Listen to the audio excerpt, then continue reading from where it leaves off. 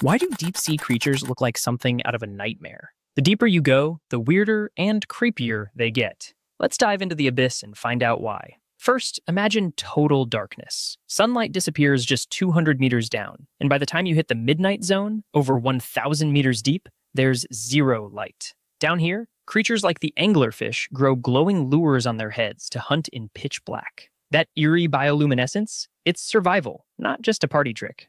Second, the pressure is crushing, literally. At 4,000 meters, it's over 400 times what you feel at sea level. Bones would snap, metal would crumple. So, deep sea animals evolve gelatinous bodies, huge mouths, and stretchy stomachs. Think gulper eels and the terrifying fangtooth, whose teeth are so big they can't close their mouths. Third, food is insanely scarce. No plants, no sunlight, just scraps drifting down from above. That's why you see creatures with massive jaws, expandable bellies, and even transparent skin to sneak up on prey. The giant squid, for example, has eyes the size of dinner plates just to spot the faintest movement. So the deeper you go, the stranger and creepier life gets. Want to see more bizarre creatures from the deep? Hit follow, and let's keep exploring the unknown.